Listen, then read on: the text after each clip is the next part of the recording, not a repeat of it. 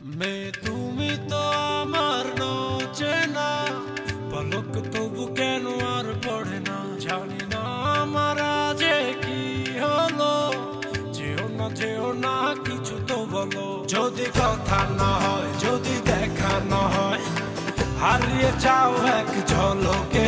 মে কথা না কমে ফিরে না যাও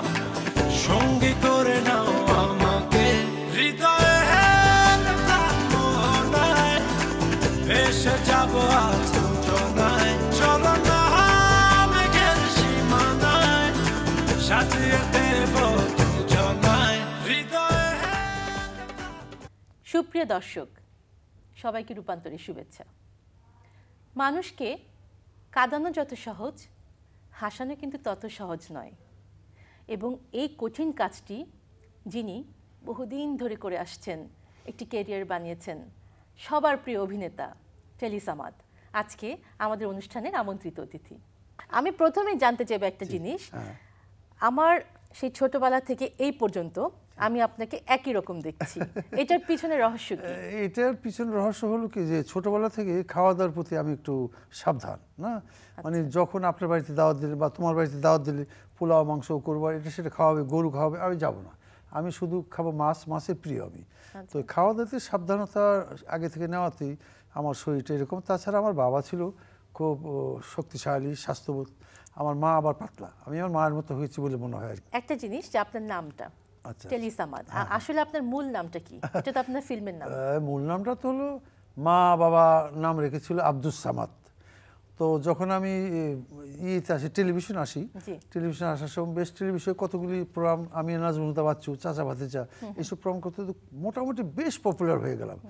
তো ওই ক্যামেরাম্যান মাহমুদ সাহেব উনি এখন এটিএন আছে বোধহয় উনি বিটিভির তখন ছিল ক্যামেরাম্যান উনি একটা ছবি বানাবি। ছবিটা নাম হলো পায়ে চলার পথ। খুব সুন্দর ছবি নামটাই সুন্দর পায়ে চলার পথ। তা আমাকে ডাকলো টেলিভিশনে তো আমি গেলাম কি ব্যাপার? তো জিএম সাহেব সব প্রডিউসার বসে আছে চুপচাপ বলে যে আসো আসো আসো বসলাম। বলে আজকে একটা চার চক্র বসে খাওয়াটা বলে একটা প্রপোজাল দিচ্ছি বলে কি, আজকে থেকে আমাদের সামাদ আর সামাদ রইল না। বলে, তার মানে? বলে, তুমি এখন তোমার পিছনে বাবা মার দেওয়ার নামটা সামাদ রইল, তার আগে আমরা টেলি টাইটেলটা তোমাকে দিয়ে দিলাম। যে টেলিভিশন তুমি খুব পপুলার সবাই খুব ইয়ে করে সেই থেকে টেলি সামাদ হয়ে গেলাম, কিন্তু ভয় ছিল। যে টেলি টুল্লা টিলে কি কি কি না না কিন্তু আসলে এই নামটা আমাকে অনেক দূরে নিয়ে গেছে। জনপ্রিয়তা অনেক দূরে নিয়ে গেছে। যেইখানে যাই রাতের অন্ধকারে রাত দুইটা তিনটা যদি বল টেলিসাবাদ সবাই এক নামে চিনে সব খুব যত্ন করে আদরও করে। একদম ছোট্টবেলা। কি ছোট্টবেলার কিছু? আপনার শৈশব। ও বাপরে বাপ শৈশব ওর মারাত্মক। এই কথা কেমন ছিলেন? মানে এরকম এই কথা চঞ্চল ছিলেন নাকি এই কথা বলতে গেলে আজকে সারা রাত চলে যাবে। কিন্তু চঞ্চলতা কিছু কিছু বলি। যেমন আমি ছোটবেলায় এত দুষ্ট ছিলাম যে আপনার পিছনে বসে বসে ছবি আঁকতাম তারপর কোন কোন গান গাইতাম। তো টিচার বলে এইখানে ছবি আঁকার জায়গা না জায়গা বাসায় গিয়ে। কিন্তু আমার যত্ন ছিল এটা আদর ছিল যে আমি একজন ছবি আঁকার শিল্পী। আমি গান গাইতে পারি ওই ফাংশন আসলে আমার আদর কিন্তু পরীক্ষার সময় আদর নাই। লেখাপড়া এই স্কুলে ভর্তি করলে এখানে না গিয়া মাঝখানটা পুরো বাড়ি ছিল ওই বাড়িতে ঢুকে থাকতাম সারাদিন। তো স্কুল ছুটি হওয়ার সব আগেই বাসায় গিয়ে খাওয়া দাওয়া করে চলে যেতাম। আমার বোনে গিয়ে বলতো কি মা ও তো স্কুল যায়নি? বলি, কেন? বলে স্কুল যায়নি ও তো খেয়ে দিয়ে চলে গেল। তার বাবা দেখল এক্ষেত্রে বিপদ। আবার ডান দিকে একটা স্কুল আছে সেখানে ভর্তি করল। এর মাঝখানে আরেকটা পড়ো বাড়ি আছে ওইখানে বসে থাকতাম। একদিন ধরাই পড়ে গেলাম। ধরা পড়ে ওই যে পালালাম নানি বাড়ি চলে গেলাম। এক মাস বেড়ালাম নানি বলতেছে কিরে তুই বাড়িতে যাবি না? বলে কি বাড়ি যাব? তোকে স্কুল খোলা না বন্ধ? স্কুল তো বন্ধ? বলে কেন? হেডমাস্টার মারা গেছে আর সাইক্লোনে স্কুল হয়ে গেছে। আরে এখন তো শীতকাল সাইক্লোন কোন দিক দিয়ে? বলে হয়ে গেছে তুমি জানো না এসব। এইরকম নানান দুষ্ট মজার মজার ঘটনা। হ্যাঁ খুব কিন্তু আমার একটা উদ্দেশ্য ছিল যে আমি একজন শিল্পী হব। যে কোনো কারণে হই মুন্সিগঞ্জ থেকে বের হয়ে আমাকে আসতে হবে। আমার বাড়ি হলো মুন্সিগঞ্জ নয়াগাঁও। তো ঢাকায় এসে লেখাপড়া শিখে আমি ছবি লাইনে যাব। এটি ছিল আমার মেন উদ্দেশ্য। দেখেন সেই ছবির শুরুর দিকেই পায়ে চলার পথ। চমৎকার নাম দেওয়া শুরু হলো আর কি। হ্যাঁ। ম্যাক্সিমাম ছবিতে আপনি অভিনয় করেছেন অনেক হাসির হাসির মজার মজার ঘটনায় অভিনয় করেছেন। তো এটা এই এই প্রসঙ্গে আপনি যদি কিছু বলেন। হাসানোটা ব্যাপার হলো কি যদি অঙ্গভঙ্গি বাদ দিয়ে না? শুধু ডায়লগের উপরে কথায় হাসাতে পারেন সেটি হলো সবচেয়ে বড় কমেডি। বিভিন্ন অভিনয় হাসাতে হাসাতে আমার একটা সময় আসলো যে যখন আমার বাবা মারা গেল এটা আমার জীবনের সবচেয়ে বড় স্যাড। যে কোনো স্যাড কথা বলতে গেলেই আমার এই কথাটা মনে পড়ে আজকে আমার বাবা নেই বেঁচে। তো আমি চিৎকার করছি মেডিকেলের সামনে বাবা মারা গেছে। তো অনেকগুলো ইউনিভার্সিটির ছাত্রছাত্রী আমার দূর থেকে বিভিন্ন উক্তি কথা বলতেছে। এই এটা সেটা কৌতুক আমি দেখলে যা হয়। ওরা যতই বলছে, তত আমার জন্য আরও ঢেকুর দিয়ে কান্না আসছে। একসময় বললাম যে, ভাইয়ের আমার, বোনের আমার, আপনাদেরও এই বাবা মা আছে আমার বাবা মা ছিল, আমার বাবা আজকে মারা গেছে। আমার দিকে মনে করি এই অট্টহাসি না দিয়ে এরকম উল্টাপাল্টা কথা না বলে না বলে কি না হয়? আজকে তখন ওরা বুঝতে পারল যে আমার ভিতরটা কষ্ট তারা বলে সরি আমরা বুঝতে পারিনি ভাই। ওরা খুব দুঃখ প্রকাশ করল। এই এইটাই আমাদের সারাটা জীবন মনে পড়ে এবং এই বাবাকে মাকে ভাইকে নিয়ে একটা গানও লিখছিলাম সাংঘাতিক গানটা আমি বিটিভিতে দুইবার গেছিলাম। একবার গেলাম তারপর আবার ইন্ডিয়ার বিভিন্ন জায়গা থেকে আবার এটা চিঠি আসলো যে টেলিস আমাদের এই গান আবার শুনতে চাই। এই গানটা গাইছিলাম খুব ফেমাস গান। আমাদের একটু শোনাবেন আজকে? এটা হলো এরকম শুন শুন শুন ভাইয়া, শুন রে বলি। আমার বুক ফাটে তো, মুখ ফাটে না। ও তোমরা যখন আমায় ডেকে বলো চার্লি, ও তোমরা যখন আমায় ডেকে বলো চার্লি, আমার বাবার মৃত্যুকালে কাঁদি আমি যখন পাশে বসে, চোখের জলে আমি পথে এলে, সবাই ডাকে আমায় চার্লি বলে, আমার মনের ব্যথা। কেউ তো জানে না আমার মনের কথা, কেউ তো শুনে না, ভাই রে ভাই রে আমার মনের ব্যথা কেউ তো বুঝে না, আমার মনের কথা কেউ তো শোনে না, এই ব্যথায় আমি রে ভাই কারে বলি?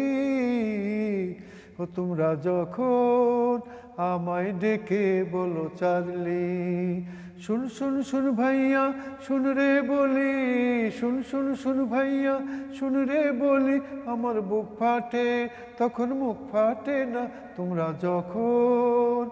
আমায় ডেকে বলো চার্লি ও তোমরা যখন। আমায় ডেকে বলো চার্লি। চমৎকার। অনেক সুন্দর আপনার গলা গানের গলা। তো আপনি তো গান শিখতেন ছোটবেলা না না কারও কাছে শিখি নেই সব নিজে নিজে? একদম নিজে কিন্তু গান তো অনেক করেছেন ফিল্মে অনেক অনেক ছবিতে অনেক গান গাইছি। তারপর আমি নিজে হারমোনিয়াম নিয়ে নিয়ে আমার বড় ভাই সুদিন দাস আসছিল সুদিন দাস। সুদিন দাস আসতো ওনার ওনার শিষ্য ছিল গান গাইতো। আমি আমার বড় ভাইদের এটা দেখে থেকে আমার বাবা গাইতো সেটা শুনে বড় ভাই বড় ভাই পরে ঢাকাতে সুদিন দাস কাছে শিখছে। আচ্ছা। তা আমি সেইভাবে আস্তে আস্তে করতে করতে স্টেজে গেতে গেতে গেতে গেতে এখন আমি যে ফাংশনে যাই গায়ক হিসাবে যত যা বিদেশে বহু দেশ ঘুরছি পৃথিবীর অনেক দেশে। শুধু গান। ওই যে একটা গান দিলদারে আমার নাম ড্যাগের ভিতরে এইসব গান যেই দেশে যাই আগেই বলে টেলিভাই দিলদারে আমার নাম ড্যাগের ভিতরে ডালি চালু তেলুগু আচ্ছা আমরা এগুলো শুনব। হ্যাঁ, একটু একটু করে শুনব। তার আগে একটা জিনিস যে আপনার একটি নাটক বিখ্যাত নাটক জব্বর আলী। হ্যাঁ হ্যাঁ। এই নাটকটি এখন পর্যন্ত কিন্তু চলছে এবং আপনি সমানে রাজত্ব করে যাচ্ছেন। এর পিছনে রহস্যটা কি? মানে রহস্য মানে কি? আমার চরিত্রটা এইরকম একটা যে আমি কিন্তু ইংলিশ জানি না না? কিন্তু ইংলিশ এই ladies in brother in sister এই দুলাবাইং পাইং পুইং কথা বলি। তারপরে একটু যতগুলি ক্যারেক্টার আছে আপনি দেখছেন একমাত্র ক্যারেক্টারের মধ্যে যে আমাদের বেঙ্গা ভাই বে- ফরিদ আলী ভাই কাজ করতো খুব সুন্দর। তো এরকম আমার ক্যারেক্টারটা সেই রকম আর কি। মানে বুঝে না বুঝে কথা বলা আর কি। আচ্ছা, তো হ্যাঁ, এরপরে এর মধ্যে একটা নাটক করছিলাম ওটার মধ্যে পাশের বাসার মেয়েটা এটা খুব মজা। মেয়েটার সাথে প্রেম করতে যাচ্ছি। প্রেম করতে গিয়ে তো মেয়েটা মিচকি মিচকি হাসে, তাকায়, তারপরে একটা বড় একটা কমলা নিচ্ছে ওকে তো একটাই কমলা ছিল, আমি খাব করে ছাদে উঠছিলাম। তো খেতে গিয়ে ওকে দেখে ওকে ভালোবাসি। এই- যে ক্যাচিং করো ক্যাচিং করো। এই না না ইয়ে orange orange catching orange catching খেচ খেতে মেয়ের ধরতে পড়েছে পড়ে গেল ডাউন ডাউনিং আচ্ছা ওকে নেক্সট টাইম হ্যাঁ আমি তোমাকে আবার একটা দেবো। এইরকম যে কথাগুলো না এই কথাগুলো পাবলিকের কাছে খুব দর্শকের কাছে খুব ভালো লাগতো। কমেডি করতেন। মজার অভিনয় করতেন। ওনাদের মধ্যে অনেককে আমরা হারিয়েছি। হ্যাঁ হ্যাঁ। তাদের মধ্যে আপনার প্রিয় কোনো বন্ধু? হ্যাঁ তার মধ্যে আমি তো একেবারে বলছি আমার? মুরব্বী আর্টিস্ট সেই হলো যেমন খানজন ভাই ছিল আমার অত্যন্ত প্রিয়। কারণ কেন প্রিয়? আমি যখন প্রথম ফিল্মে আসলাম আলতা ভাই আর কমিশন আলতা ভাই উনি হলো একটা ছবির একটা ফিল্ম ডাইরেক্টর আমি হলাম তার অ্যাসিস্ট্যান্ট একটু চুঙ্গা পেন পুরা ওই স্ক্রিপ্ট লিখতেছে এই করতেছে, তো একটা ডায়লগ এমনি সময় এক নম্বরে আমাদের খাঞ্জুল ভাই আসছে, সাদা ধবধব একটা স্যুট পুরা একে মুখের মধ্যে একটা আপেল ঢুকে দিয়ে পকেটের মধ্যে ধাপ করে মাটিতে বসে পড়ল। বসে পড়ে কয়, এই হালাতে আমার ভাত মারবো? আমার কথা করতেছে আমি হাসবো না, কী করব? আমার গালি দিল আর কি। হ্যাঁ আমি একটা ডায়লগ বলছে, ওইটা শুনে কয়, এই হালাতে আমার ভাত মারবো? হ্যাঁ আমার শুটিংটা প্যাক আপ হলো আমি সাথে পায়ে দিই। না না না তুই পায় না তুই আমার বুকে তোর বুকে। তা আর মোটামুটি যেমন আমাদের আরও আর্টিস্ট যারা ছিল এখন আর তো কেউ নেই। সাইবুদ্দিন ভাই আমার খুব অত্যন্ত প্রিয় শিল্পী ছিল। সাইবুদ্দিন ভাই খুব। ভালো অভিনেতা ছিল। তার হাবা ভাই তো হাবা সুন্দর তো ওনার স্টাইল আলাদা। উনি খুব ভালো। রবিউল ভাই আরেকজন মানে মানে সবাই মোটামুটি ভালো ছিল। এরা সবাই ছিল অনেক সিনিয়র আমার সিনিয়র আর্টিস্ট ছিল। তাদেরকে পাইছি সবাইকে পেয়েছি আমি। একজনকে সবাইকে পেয়েছি সবাই আমার চোখের সামনে চলে গেল আর কি তো লাস্টে গেল আমাদের মতির পরে গেল দিলদার। যেটা জানি যে আপনি তো গান একটা আমাদেরকে শোনালেন। হ্যাঁ তো আপনার একটা বিখ্যাত গান হ্যাঁ। ড্যাগেরও ভিতরে ডাইলে চাইলে উত্রাইলি ঘুষই গানটা বড় মজা। এই গানটা মজার মানে কি? এটা খুবই মজার একটা গান। ওই ড্যাগের ভিতরে ডাইলে চালে উচালি গোসই ড্যাগের ভিতরে ডাইলে চালে উচালি গোসই আর সেই উতানি মুরে উতুরাহিলি, আর সেই উতানি মুরে উতুরাহিলি, শ্যাম প্রীতি আমার অন্তরে, আরে শ্যাম প্রীতি আমার অন্তরে। বাটাটা বিছাইয়া মরিস পিছাইলে গোসো বাটাটা বিছাইয়া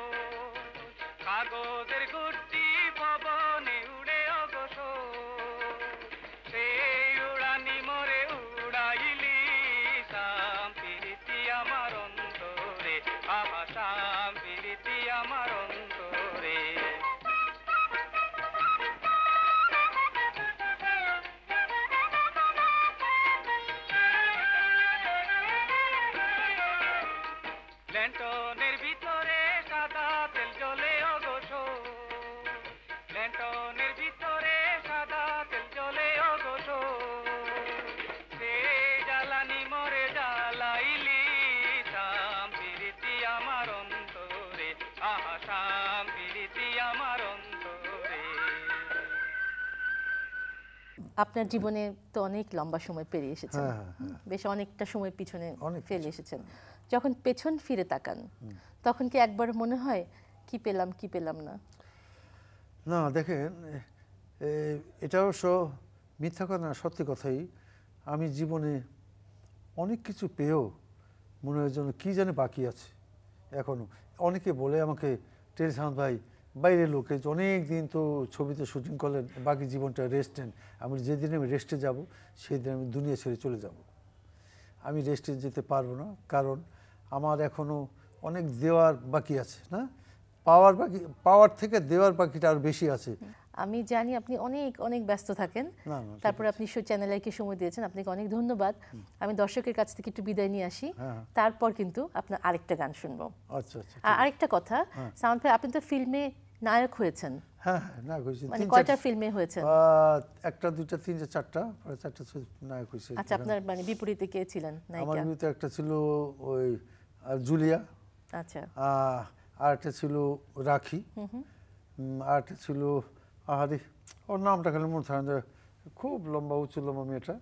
নামটা মতো ও ছিল ওইটা একটা চমৎকার ক্যারেক্টার ছিল অ্যাবসেন্ট মাইন্ডেড প্রফেসরের মতন চরিত্রটা আমার।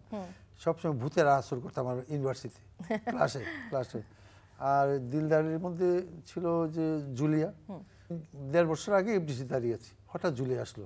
আমি আমাকে জড়াই ধরছি টেলি কেমন আছো? আমি খুব ভালো আছি। তুমি কেমন আছো? বলে খুব ভালো আছি। এই কথা বলতে বলতে হঠাৎ বলে যে আমার বুক একটু পেইন হচ্ছে এরকম হাসতে হাসতে হাসতে হাসতে ব্যথাটা তীব্র হতে চলল। তীব্র অসহ্য হয়ে গেল যখন তখন হাসপাতাল নেওয়ার পর এক দেড় ঘণ্টা মারা গেল মেয়েটা। তো এটা একটা এত দুঃখের কাহিনী হ্যাঁ, খুব সুন্দর। ওর ওর সাথেও একটা ফেমাস গান আমি ওই ছবিতে গাইছি দিলদার আলী আমার নাম। মনা পাগলার অনেক গান আছে তবে একটা গানে একটা লাইন শুনি আর। তার দিলদারের গানটা শুনি। মনা পাগলার গানটা হলো মেয়েটা যখন বিয়ে হয়ে গেল চলে গেল আমি সারা জীবন যাকে বিয়ে করব বলে আশা করছিলাম যার জন্য পাগল হলাম সেই মেয়েটা যখন চলে যায় তখন আমি বাড়িতে আসলাম পাগল অবস্থায়। এমন সময় নানি রানী সরকার বলল আরে পাগল তুই যে চিৎকার করছিস নদীর পার একটা সাদা নৌকা দেখে আসো বলে হ্যাঁ। আরে পাগল তোর তো দুঃখের আর শেষ নাই। আরে নানি সারা জীবনে তো আমাকে দুঃখ আবার কিসের দুঃখের খবর দিবি? বলে আছে আছে। নদীর পার বজরা নৌকা দেখে না আসছো? বলে দেখে আসছি। ওই বজরা নৌকায় তোর নায়িকা পাখিকে তো রাজার ছেলে ছো মেরে নিয়ে গেল। তখন একটা চিৎকার দিয়েছিলাম পাখি,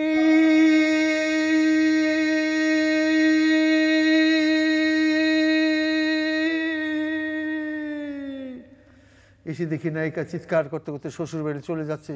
হঠাৎ করে এটিএম শামসুজ্জামান লাঠিয়ালদের বলল এই লাঠিয়ালের বাচ্চারা আজ ওকে আমার মাথা হেট হবে রে? ওই পাগলের মাথার মধ্যে একটা লাঠির আঘাত করে দিয়ে, ওর মাথাটা দুই ভাগ করে দিয়ে আয়। লা- পা- লাঠিয়ালটা আমার মাথায় আঘাত করল। আমি চিৎকার করতে করতে মাটিতে লুটিয়ে পড়লাম। সবাই চলে গেল, নায়িকা কাঁদতে কাঁদতে শ্বশুর বাড়ি চলে যাচ্ছে নৌকায়। তখন একটা গান গাইছিলাম, আমার মনো পাখি চলে গেল, সোনার পঙ্খী রাজে, ওই আমি সারা জীবন থাকব বসে পারে ও সেই আসবে না আর ফিরে। সুপ্রিয় দর্শক, আমরা যখন মুভি দেখি, আমরা আনন্দ পাই, দুঃখ পাই, কষ্ট পাই, এবং আমরা যে বিনোদনটা উপভোগ করি, যারা আমাদেরকে উপহার দেন তাদের জীবনেও কত দুঃখ, কষ্ট থাকে। আজকের অনুষ্ঠানে আমাদের আমন্ত্রিত অতিথি টেলিস আমাদের কাছ থেকে আপনারা জানতে পারলেন। আমরা অনুষ্ঠান শেষ করব তার একটি গান দিয়ে। আপনাদের কেমন লাগল আমাদের আজকের অনুষ্ঠান? যদি ভালো লেগে থাকে আমাদের ইমেল করুন, আমাদের ইমেল অ্যাড্রেসে রূপান্তর zero six at Yahoo dot com. ভালো থাকবেন, সুস্থ থাকবেন। আগামী একটি সুন্দর দিনের প্রত্যাশায়। দিলদার আলী, আমার নাম। খেল দেখানোই আমার কাম। রাস্তায় রাস্তায় ঘুইরা মুদি কেউ দিল না দাম। আমার কেউ দিল না দাম। হাই রে, কেউ দিল না দাম। আমার কেউ দিল না দাম। ওই দিলদার আলী, আমার নাম। খেল দেখানোই আমার কাম। রাস্তায় রাস্তায় ঘুইরা মুদি কেউ দিল না দাম।